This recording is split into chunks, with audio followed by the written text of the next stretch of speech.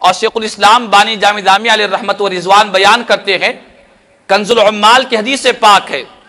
میرے اور آپ کے آقا، نبیوں کے تاجدار امام الانبیاء، رحمت للعالمین صلی اللہ تعالی علیہ وسلم، ایک مرتبہ ایک باغ میں حضور تشریف لائے۔ اور باغ میں آ کر پیارے آقا تشریف فرما ہوئے اور باغ کے دروازے کو بند کر دیا۔ کچھ ہی دیر کے بعد ایک شخص باغ کے دروازے کو کھٹکھٹانے لگا تو پیارے آقا کریم صلی اللہ علیہ وسلم نے اپنی چہیت صحابی رسول حضرت انس رضی اللہ تعالیٰ عنہ سے سرکار نے فرمایا، اے انس جاؤ، جا کر دروازہ جس نے دستک دی ہے اس کے لیے دروازہ کھول دو اور آنے والے کو یہ خوشخبری سنا دو۔ دروازے سے داخل ہونے والے کو یہ بشارت اور خوشخبری سنا دو۔ کہ اللہ تبارک و تعالیٰ نے تمہارا مقام جنت میں بنائے رکھا ہے۔ تم جنتی ہو اور حضور کے وصال مقدس کے بعد تم خلیفہ اول بن جاؤ گے۔ سرکار مدینہ صلی اللہ علیہ وسلم نے حضرت انس رضی اللہ تعالیٰ کو فرمایا۔ حضرت انس رضی اللہ تعالیٰ کہتے ہیں کہ میں نے حضور سے عرض کیا کہ یا رسول اللہ صلی اللہ علیہ وسلم، کیا آنے والے کو میں اس بات کی اطلاع دے دوں؟ کیا اسے خوشخبری اور بشارت سنا دوں؟ کہ سرکار نے تمہارے لیے یہ بشارت دی ہے کہ تم جنتی بھی ہو اور تم حضور کے بعد خلیفہ اول بھی بنو گے۔ سرکار نے فرمایا کہ ہاں آنے والے کو خوشخبری سنا دو۔ چنانچہ حضرت انس رضی اللہ تعالیٰ فرماتے ہیں، جب میں نے دروازہ کھولا تو کیا دیکھتا ہوں؟ امیر المومنین، یار غار و یار مزار، حضرت سیدنا صدیق اکبر رضی اللہ تعالیٰ عنہ موجود ہے۔ دروازہ کھولنے کے بعد صدیق اکبر رضی اللہ تعالیٰ عنہ کو میں نے وہ خوشخبری سنا دی، سرکار نے جو بیان فرمایا تھا، وہ داخل ہو گئے۔ پھر کچھ ہی دیر کے بعد ایک دوسرے شخص نے دروازے کو کھٹکھٹایا۔ پیارے آقا کریم صلی اللہ تعالی وسلم نے فرمایا کہ، اے انس، جاؤ، جا کر اس شخص کو بھی خوشخبری دے دو۔ ابھی آنے والا نظر نہیں آ رہا ہے دنیا والوں کو۔ دکھائی نہیں دے رہا ہے۔ لیکن میرے آقا کی شان یہ ہے کہ جس طرح وہ ظاہر کو بھی دیکھا کرتے ہیں، اسی طرح باطن کو بھی دیکھا کرتے ہیں۔ میرے آقا کی شان یہ ہے، جس طرح انسان کی صورت کو بھی دیکھتے ہیں، اس کے دل کے ارادوں کو بھی دیکھا کرتے ہیں۔ دروازے کے اندر کیا ہے وہ بھی جانتے ہیں، دروازے کے باہر کیا ہے وہ بھی جانتے ہیں۔ صحیح بخاری کی حدیث سے پاک ہے۔ میرے آقا نے ارشاد فرمایا، اے میرے صحابہ واللہ لا یکفا اللہ کی قسم، یہ بات مجھ پر پوشیدہ نہیں ہے۔ میں نماز پڑھاتا ہوں تو نماز کے دوران میں تمہارے رکو کو بھی دیکھتا ہوں، تمہارے خوشو کو بھی دیکھا کرتا ہوں۔ رکو کیا ہے؟ وہ تو ہم نہ دیکھتے ہیں۔ خوشو کیا ہے؟ خوشو یہ دل کی کیفیت کا نام ہے۔ دل کی توجہ کا نام ہے۔ انسان کس طرح نماز پڑھتا ہے، وہ اسے خوشو کہتے ہیں۔ میرے آقا فرماتے ہیں، اے میرے صحابہ، میں تمہارے نماز پڑھنے کو بھی دیکھتا ہوں اور نماز کے اندر جو تمہاری توجہ ہے، وہ توجہ کو بھی میں دیکھا کرتا ہوں۔ تو میرے آقا کریم صلی اللہ علیہ وسلم کو اللہ تعالیٰ نے ظاہر کا بھی علم، باطن کا بھی علم عطا فرمایا۔ اسی لیے حضور حضرت انس رضی اللہ تعالیٰ عنہ کو رسول کریم صلی اللہ تعالیٰ علیہ وسلم نے ارشاد فرمایا کہ اے انس، اب جو دوسرے شخص نے دروازے کو دستک دی ہے، اس دروازے کو کھول دو اور آنے والے کو یہ خوشخبری سناؤ، یہ بشارت دو کہ اے آنے والے، اللہ تعالیٰ نے تجھے جنتی بنایا ہے، تو جنتی ہے۔ اور حضرت صدیق اکبر رضی اللہ تعالیٰ عنہ کے بعد تمہیں دوسری خلافت، دوسرا خلیفہ اللہ تعالیٰ تمہیں بنائے گا۔ راوی فرماتے ہیں، حضرت انس رضی اللہ تعالیٰ عنہ، میں نے دروازہ کھولا۔ دروازہ کھول کر کیا دیکھتا ہوں کہ دوسرے آنے والے کوئی اور نہیں ہے، بلکہ حضرت سیدنا عمر فاروق رضی اللہ تعالیٰ عنہ ہے۔ میں نے انہیں خوشخبری دے دی، سرکار کا فرمان میں نے سنا دیا کہ سرکار نے تمہیں جنتی ہونے کی خوشخبری بھی سنائی اور پیارے آقا نے ساتھ ہی ساتھ یہ بھی فرمایا کہ تمہیں دوسرا خلیفہ بنایا جائے گا۔ وہ آ کر بیٹھ گئے۔ پھر اس کے بعد دروازے پر تیسری مرتبہ دستک ہوئی۔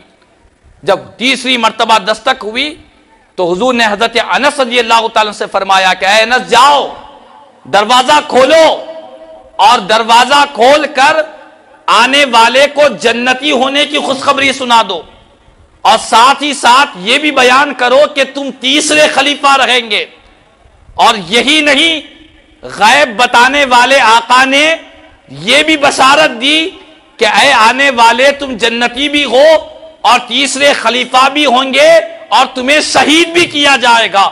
سرکار نے شہادت کی بھی پیشن گوئی فرما دی۔ جب دروازہ کھولا گیا تو حضرت انس رضی اللہ تعالی فرماتے ہیں کہ قسم بخدا آنے والے شخص خلیفہ سبم امیر المؤمنین حضرت سیدنا عثمان غنی رضی اللہ تعالیٰ عنہ تھے۔ تو اس حدیث پاک کی روشنی میں یہ بات معلوم ہوئی کہ آنے والا کون آ رہا ہے۔ اس بات کا علم بھی اللہ نے سرکار مدینہ راحت قلب و سینہ صلی اللہ علیہ وسلم کو عطا فرمایا ہے۔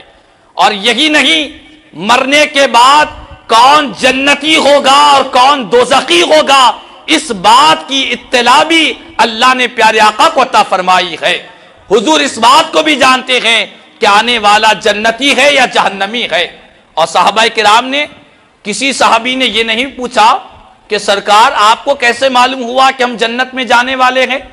آپ کو کیسے اطلاع ملی؟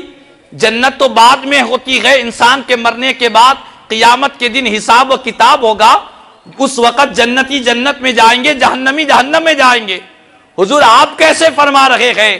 کسی صحابی نے نہیں پوچھا، ان کا نہ پوچھنا بتلا رہا ہے کہ کل صحابہ کرام جانتے تھے کہ پیارے آقا کو اللہ نے جو کچھ ہوا اور جو کچھ ہوگا، ہر چیز کا اللہ نے علم عطا فرمایا ہے۔ ماکان و ما یکون کا علم عطا فرمایا ہے۔ میرے آقا، کون کس دنیا میں آیا ہے؟ کون جنت میں جائے گا؟ کون جہنم میں جائے گا؟ ہر چیز کا علم غیب اللہ نے حضور کو عطا فرمایا ہے۔ اور پیارے آقا، اللہ کے عطا سے جانا کرتے ہیں۔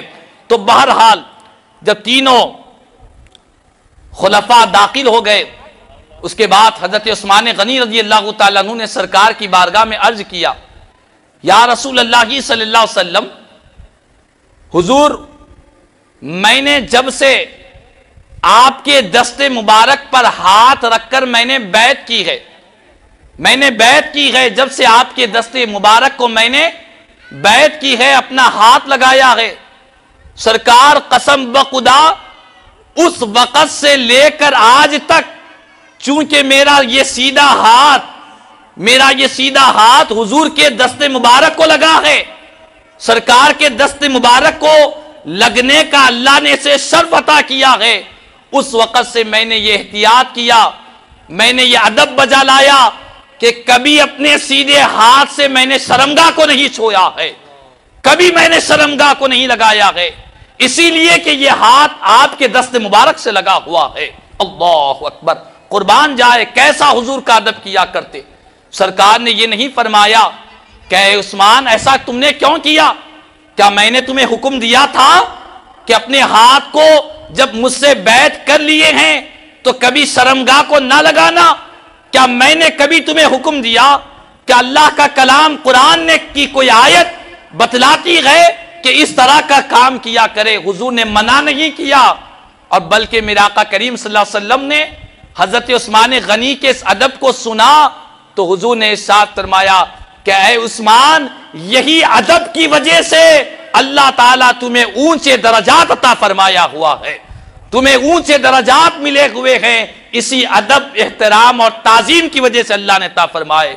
تو شیخ الاسلام بانی جامع دامیہ علیہ رحمت و رضوان فرماتے گئے کہ لوگوں، سرکار مدینہ صلی اللہ علیہ وسلم کا جتنا ادب کرو گے جتنی تعظیم کرو گے جتنا اہتمام کرو گے اور جتنا تم حضور کی ذات سے وابستہ ہوگے، اللہ تعالیٰ تمہارے درجات کو اتنا بلند فرمائے گا، اتنی اونچائی اللہ تعالیٰ فرمائے گا، جتنا تم سرکار کی ذات کا ادب و احترام کرو گے اور اسی لیے وجہ یہ ہے کہ حضور محبوب رب العالمین ہے۔